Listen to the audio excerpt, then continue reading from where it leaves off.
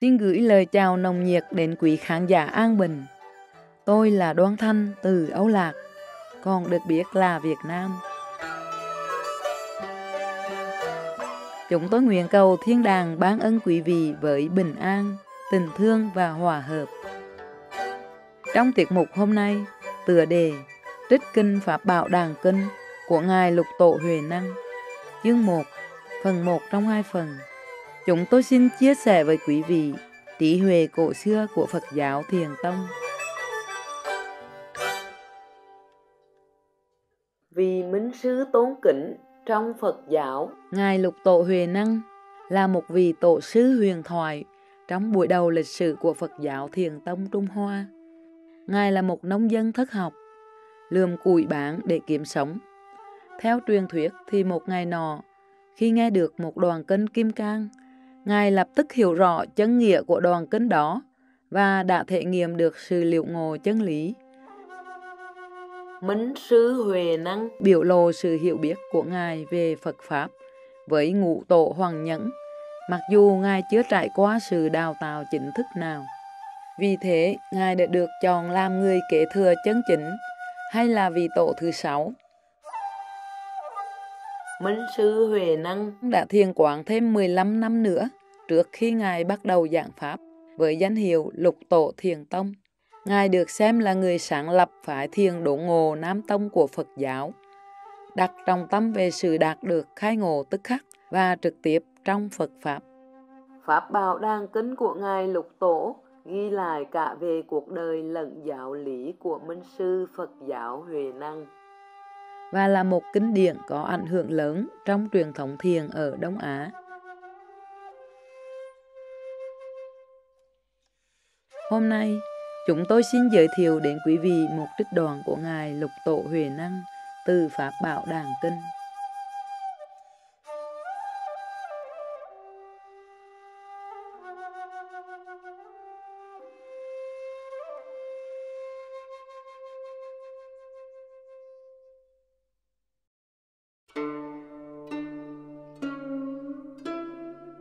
Nguyên do hành trạng Thuở ấy, Đại sứ đến Bảo Lâm, quan thử sự vi cử ở Thiều Châu cùng các quan liêu khác. Vào núi Thịnh Sư đến Đô Thành thuyết Pháp ở dạng đường chùa Đại Phạm cho tử chúng. Sau khi sư thăng Pháp tòa, quan thử sự cùng các quan khác hơn 30 người, trí thức nho sĩ trên 30 người, tăng ni, cư sĩ, đào sĩ hơn 1.000 người, đồng đảnh lệ sư xin nghe điều cốt yếu của Phật Pháp. Đại sư nói với tự chúng, chứ thiền trí thức, từ tánh bồ đề vốn thanh tịnh, chỉ cần sử dụng tấm ấy thì sẽ thành Phật. Chứ thiền trí thức, hãy nghe tôi kể nguyên do đắc Pháp của Huệ Năng. Cha của Huệ Năng quê ở Phạm Dương, làm quan bị giáng chức, đầy ra sự lạnh Nam, làm dân thường ở Tân Châu, Thân phận không may, cha lại mất sớm, mẹ già cuối cùng, mẹ con dời qua sự Nam Hải, đắng cay, nghèo thiểu, bán củi ở chợ. Khi ấy có một người khách mua củi nhờ mang đến nhà. Khi khách nhận củi xong, Huệ năng lạnh tiền, lui ra ngoài cửa. Chợt nghe một người khách tùng kinh. Huệ năng nghe đến câu, ưng vô sợ trụ, nhi sanh kỳ tâm. Thì tâm liền khai ngộ, Huệ Năng hỏi khách tùng kinh gì? Khách đáp, kinh Kim Cang. Huệ Năng lại hỏi, ở đâu đến mà trì tùng kinh ấy? Khách nói, tôi từ chùa Đông Thiền, huyện Huỳnh Mai, xứ Kỳ Châu đến đây. Chùa ấy do ngụ tổ Hoàng Nhẫn, đại sư chủ trì giáo hóa. Môn đồ của ngài có trên một ngàn người. Tôi đã đến đó lễ bái và lặn thọ kinh này. Đại sư thường khuyên các vị tăng và người tài gia chỉ cần trì tùng kinh kim cang thì sẽ được kiến tánh trực liễu thành Phật. Huệ năng nghe nói rất muốn đi cầu Pháp, nhưng còn mẹ già không người săn sóc. Bởi có nhân duyên đời trước, nên được một người khách giúp Huệ năng 10 lượng bạc để có thể dùng cấp dưỡng y phục và lương thực cho mẹ già và khuyên đến huyền Huỳnh Mai tham lễ ngụ tổ Huệ năng sắp xếp cho mẹ xong, liền từ dạ lên đường. Chưa đầy một tháng đã đến huyền Huỳnh Mai lễ bái ngụ tổ. Tổ hỏi rằng, ông là người phương nào, muốn cầu việc gì? Huệ năng thưa, đệ tử là người huyền Tân Châu, đất lạnh Nam, từ phương xa đến đây lễ tổ. Chỉ cầu thành Phật, không cầu việc gì khác. Tổ nói, ông là người đất lạnh Nam, lại là giống mang di, thế nào thành Phật được? Huệ năng thưa, có người tuy có phân Nam Bắc, nhưng Phật tánh vốn không có Nam Bắc. Cái thân mang di này cùng với thân của Hòa Thượng, tuy chẳng giống nhau, nhưng Phật tánh đâu có gì khác. Ngụ tổ còn muốn nói chuyện nữa, nhưng thấy các môn đồ đứng xung quanh, nên bảo Huệ Năng theo các môn đồ làm việc.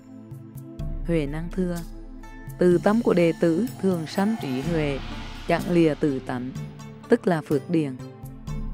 Con không biết hòa thượng muốn con làm những công việc gì. Ngụ tổ nói, cắn tánh của tên mang di này thật lanh lời. Ngươi chớ có nói thêm nữa, hãy đi ra sau hầu viện. Huệ năng lui đến hầu viện, có một người hành nhân sai bảo ngài bữa củi dạ gạo.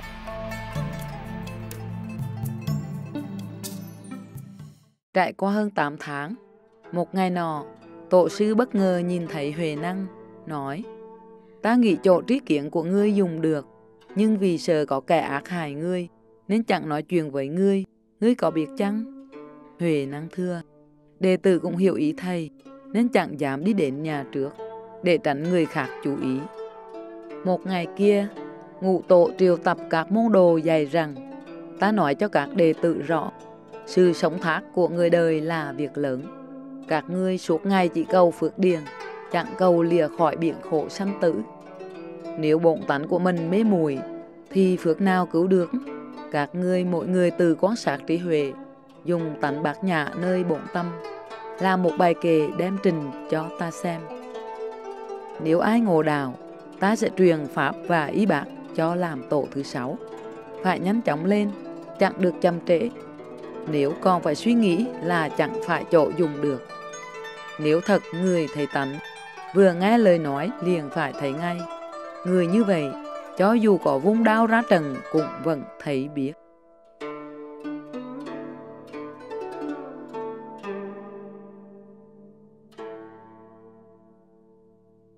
Sau khi đại chúng nghe lời dạy bảo và lui về, nói với nhau rằng chúng ta chẳng cần lỏng tâm dùng tỷ làm kề trình cho hòa thượng, vì có ích chi đâu. Thường tòa thân tú hiền làm thầy giáo thọ, chắc chắn vì ấy được phủ y pháp. Dù chúng ta làm kề cũng không được chọn, chỉ uổng công mà thôi. nghe đến đây, mọi người gạt bỏ việc làm kề, nói, từ nay về sau, chúng ta sẽ nướng cày sứ thần tú, cần gì phải làm kề cho phiền phức. Sứ thần tủ nghĩ thầm, những người ấy không trình kề là vì ta là giáo thọ của họ, ta phải làm kề trình hòa thượng. Nếu không trình kệ thì làm sao hòa thượng biết được kiến giải của ta sâu càng thế nào?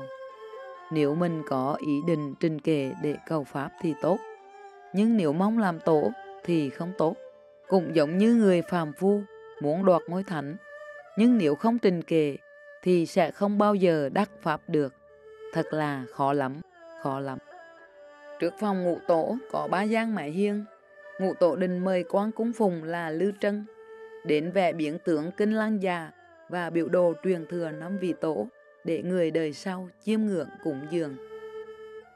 Khi thần tủ làm kề xong, mấy lần muốn đem trình, nhưng khi đến trước phòng của tổ thì trong lòng hoảng hốt, mồ hôi ra ướt cả mình.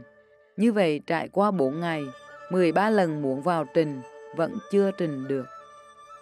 Thần tủ mới suy nghĩ chỉ bằng cứ ghi bài kệ trên vách hành lang để hòa thượng có thể bất ngờ thấy được. Nếu ngài khen hay, thì ta sẽ ra đảnh lễ nhận là thần tú làm. Còn nếu bài kệ không dùng được, thì thật uổng công ta ở núi mấy năm, thò sự lễ bái của người. Vậy còn tu đào làm gì nữa?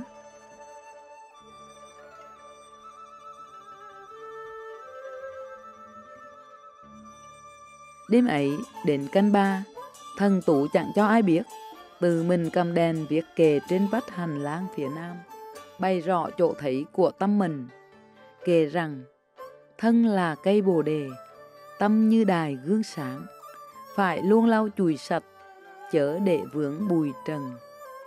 Thần tú chép bài kề xong, liền trở về phòng không ai hay biết.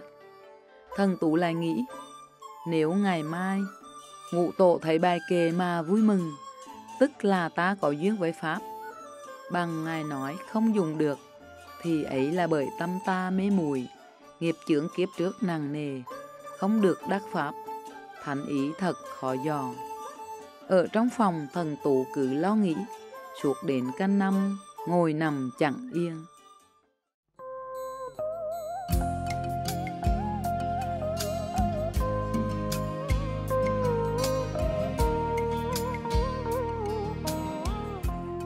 Cảm ơn quý khán giả thông thái cùng theo dõi chương trình hôm nay. Trích kinh Pháp Bảo Đàn Kinh của Ngài Lục Tổ Huệ Năng, Chương 1 Phần 1 trong hai phần. Trong tiết mục Lời Thánh Khải, Kính mời quý vị đón xem ngày mai phần 2 của chương trình này. Tiếp theo là, Tinh thần của Ngài Tổ sư Thiền Tông Bồ Đề Đạt Ma Đạt Ma Sư Tổ và Thiểu Lâm Quyền Cước, ngay sau tin đáng chú ý.